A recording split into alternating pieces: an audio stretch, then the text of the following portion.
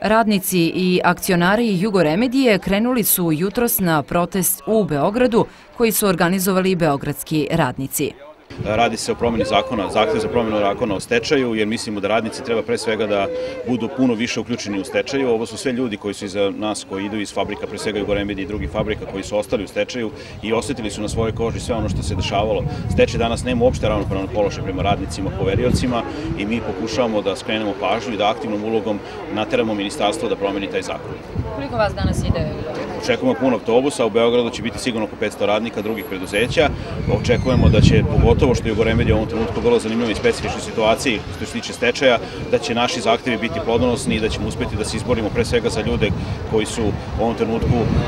u stečaju, to su radnici bez posla, a i akcionari kojih ima preko 2500 u ovom gradu. Predsednik odbora poverioca u stečaju u Jugoremediji smatra da novi zakon o stečaju ne donosi ništa dobro i ne rešava problem stečaja, koji se inače dešava u Srbiji. Jednostavno, hteli bi da, donese, da damo primetbu i da damo predloge za izmene ili dopune tog, tog e, novog zakona o stečaju, gde smatramo da svaki radnik bi trebao da se naplati, znači svoje potraživanje naplati i da bude u prvom redu, znači 100%, jer sada po novom zakonu, po ovom starom zakonu, stvari e, koji je važeći, e, radnici tek